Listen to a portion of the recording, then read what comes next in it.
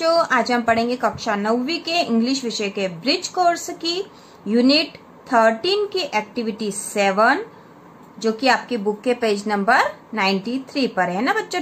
तराणु page number पर यह activity seven है, जिसे हम आज पढ़ेंगे और इसके पहले की सारी एक्टिविटी हम कर चुके हैं। यदि आपने वो नहीं देखी हो तो हमारी प्लेलिस्ट में जाकर आप देख सकते हो।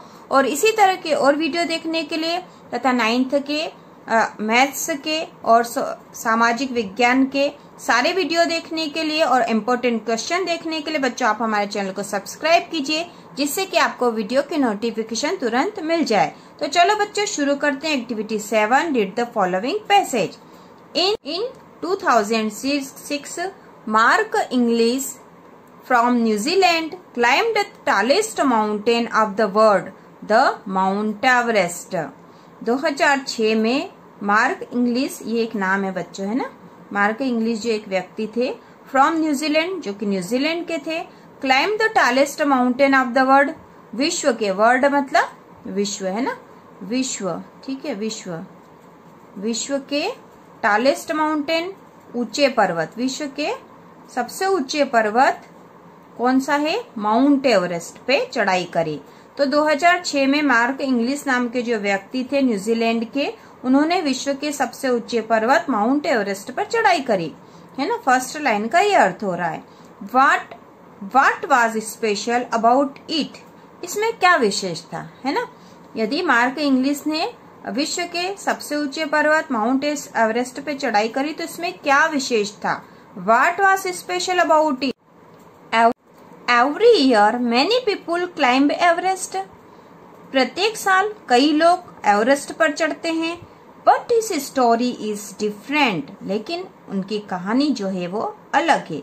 Inglis does not have both the legs Inglis जो थे, उनके दोनों पैर नहीं थे। He became the first man without both the legs to reach the top of the Mount Everest he became the first man वह पहले व्यक्ति थे विदाउट बोथ द लेग्स बिना दोनों पैरों के। To reach the top of the Mount Everest Mount Everest के top पर पहुँचने वाले है ना?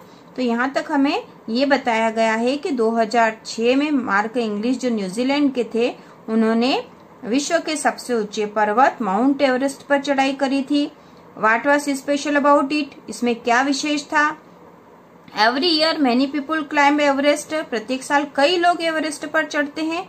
लेकिन उनकी जो कहानी वो अलग थी। Inglis does not have both the legs उनके दोनों पैर नहीं थे। और वो पहले व्यक्ति थे जो बिना दोनों पैरों के एवरेस्ट पर उन्होंने चढ़ाई की थी। ठीक है बच्चों? Inglis lost his legs early Inglis ने अपने पैर जल्दी खो दिए थे, पहले ही खो दिए थे।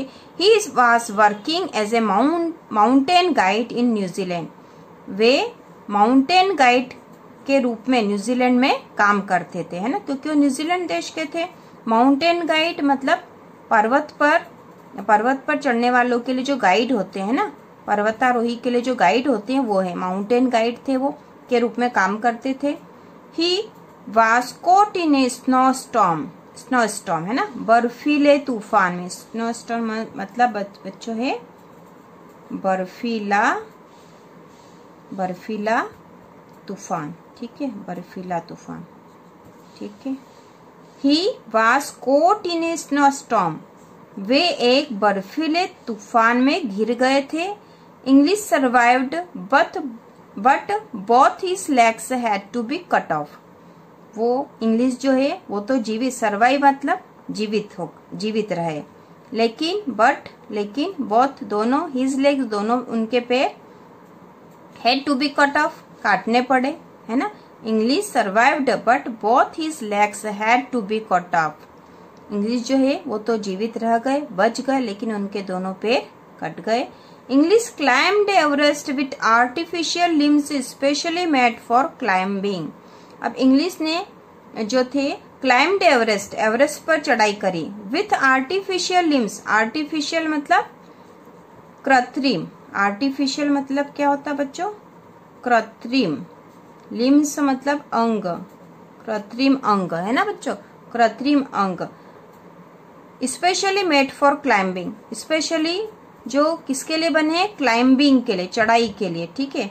पर्वतारोही जो चढ़ाई करते हैं पहाड़ों पर, उस चढ़ाई के लिए स्पेशल जो कृत्रिम अंग के रूप में जो पेड़ बने उनके सहारे उन्होंने चढ़ाई करी थी ना? Inglis climbed Everest with artificial limbs specially made for climbing he joined a small list of climbers उन्होंने क्लाइंबर्स चढ़ने वालों की एक छोटी समूह में को ज्वाइन करा था, है ना? कैसे? एक छोटे समूह को ज्वाइन करा था, जो पर्वतारोही थे, है ना? चढ़ना चाहते थे जो माउंट एवरेस्ट पर इंक्लूडिंग ए ब्लाइंड अमेरिकन जिसमें कौन कौन थे? देखो इंक्लूडिंग ए ब्लाइंड अमेरिकन जिसमें एक अंधा अमेरिकी, है ना? एक अंधा अमेरिकी and a Sherpa without both hands और एक शेरपा जिसके दोनों हाथ नहीं थे। बोथ मतलब दोनों हैंड्स मतलब हाथ विदाउट मतलब बिना। एक शेरपा थे, जिनके दोनों हाथ नहीं थे। Who overcame disability to climb the Everest जो अपनी अयोग्यता या जो कमी थी, उससे वो उभर कर एवरेस्ट पर चढ़ने आए थे। Inglis is also a professional ski guide Inglis जो है, एक प्रोफेशनल जो है स्काई गाइड भी है है ना? पेशेवर स्काई गाइड है वो। आल्सो मतलब भी, है ना? एंड ए साइकिलिस्ट और वो एक साइकिलिस्ट साइकिल चलाने वाले भी हैं। He won a silver medal in the two 2000 Paralympic games in Sydney he won won मतलब जीता। वोन मतलब जीता। ए सिल्वर मेडल है ना? In the 2000 Paralympic games Paralympic games होते बच्चों, जो कि 2000 में सिडनी में हुए थे, है ना? सिडनी में जो गेम्स हुए थे पैरालंपिक उनमें उन्होंने सिल्वर मेडल जीता था। He also he also helps other people with disabilities वो दूसरे लोगों की मदद भी करते हैं, जो कि जिनमें कुछ डिसेबिलिटीज है है ना?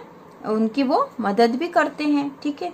तो ये हमने न्यूजीलैंड के जो मार्क इंग्लिश है, उनके बारे में पूरा पैराग्राफ था, हमने इसको पढ़ लिया, हमें समझ भी आ गया है। अब हम नीचे का करेंगे answer the following question which country does Inglis belong to है ना? जो इंग्लिश थे, वो किस देश से बिलोंग करते थे? तो क्या लिखेंगे? है ना, इसका उत्तर लिखेंगे Inglis I N G L I S belongs to B E L O N G के साथ एस लगेगा बच्चों डस था इसमें इसलिए। यहाँ डस हटेगा तो वर्ब के साथ एस या एस लगना है। इंग्लिश बिलोंग टू न्यूजीलैंड है ना?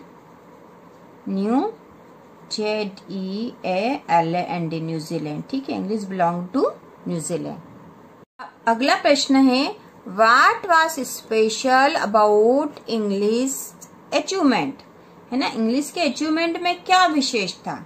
है ना? तो हम यहाँ क्या लिखेंगे बच्चों? He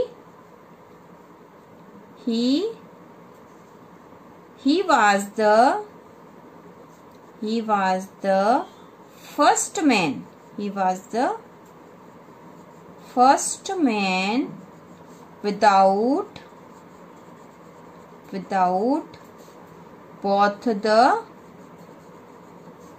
both the legs to reach the, to reach the top of the Mount Everest इसका आंसर है बच्चों he was the first man without both the legs to reach the top of the Mount Everest वह पहले व्यक्ति थे जो बिना दोनों पैरों के, है ना, बिना दोनों पैरों के माउंट एवरेस्ट के टॉप पर पहुँचे थे, ठीक?